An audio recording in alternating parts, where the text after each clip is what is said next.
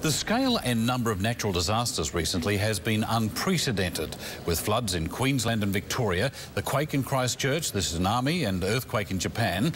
The headlines detailing death and destruction have been relentless. Some of the disaster images we've been uh, seeing have been distressing for adults, let alone children. So how do you explain these disasters to youngsters in a way which eases their trauma? Well, we're joined in the studio by child psychologist Kimberley O'Brien from the Quirky Kid Clinic. Kimberley, good morning and Good welcome morning, in. Ron. Thank you. Are children really being traumatised by the images they're seeing, uh, newspapers, television, and the, what they're hearing elsewhere? Absolutely. Just as uh, adults are traumatised by those sorts of images, kids also feel it's called vicarious trauma, where they're actually traumatised by watching someone else go through the trauma. So seeing people running from a, you know, a tsunami or crying because they've lost their home and lost their children, that's actually going to impact on kids. They may have nightmares, they may regress bedwetting, um, and as a psychologist, we do see quite an increase in anxiety when there's been a natural disaster. The incredible thing is, when we saw the waters come ashore on the disaster in Japan there, it reminded you of a movie scene because it couldn't possibly be reality. Yeah. Can children differentiate between what is reality and uh, what is make-believe?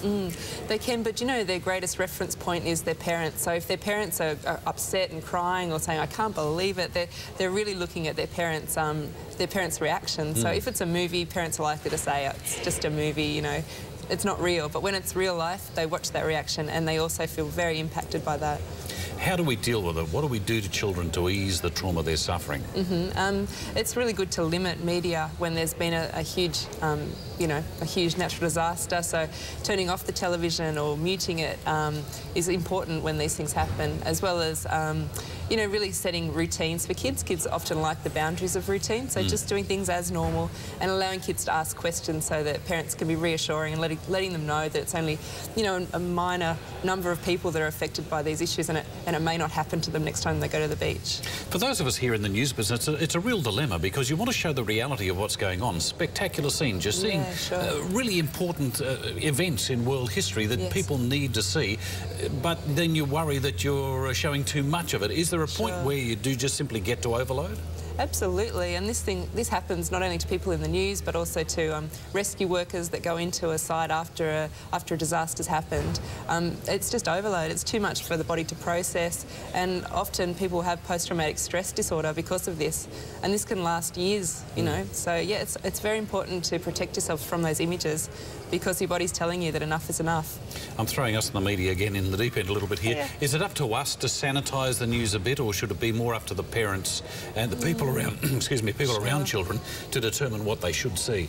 Look, I think it's the parents' responsibility, yet again, um, to turn off when it's um, too much, to let kids watch um, TV during children's viewing hours, say some, from 4 to 5 in the afternoon, and turn the news off. Um, they can watch late news when the kids are in bed.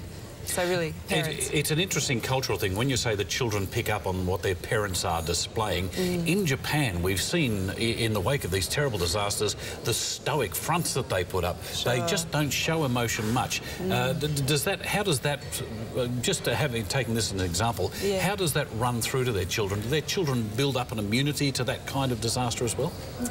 I think it's um, it's cultural, isn't it? So if um, if if if children are watching parents being very stoic and not showing emotion, it might be that later at night or, you know, there, there is an outpouring of emotion at some point. I think that people can't be stoic and, and just not feel anything for a long period of time. Maybe So it's, it's good in some circumstances to let it out. Have a good bawl if you need to. Sure, in the short term, I think it helps people through so that they feel safe. When they feel safe, that's when it'll come out.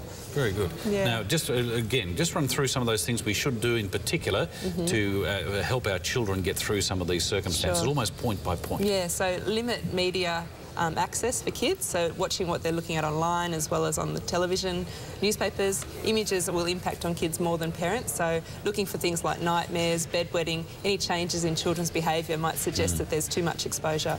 Now, these, of course, are just the children who are viewing the images. Mm. What about those who are actually going through the circumstance? Well, that's a completely different story, and that's a real life experience. So these kids are going to have post traumatic stress disorder, um, they may experience anxiety.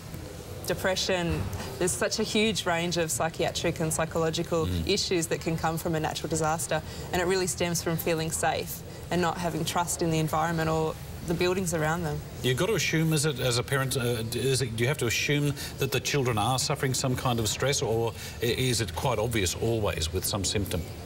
Well, you know, for example, in Australia with the bushfires or the floods, it might be that kids are caught up in the adrenaline and happy to work with the cleanup and um, and to soldier on. They're feeling mm. quite upbeat.